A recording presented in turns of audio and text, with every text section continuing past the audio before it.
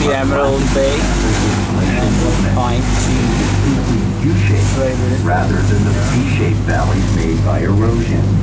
Glaciers came down through here, gouging and scraping off the sides of mountains and digging out the bay. On the mountainside